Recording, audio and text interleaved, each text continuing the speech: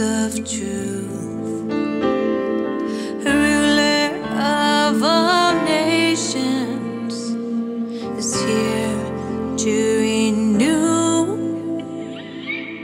watching over generations.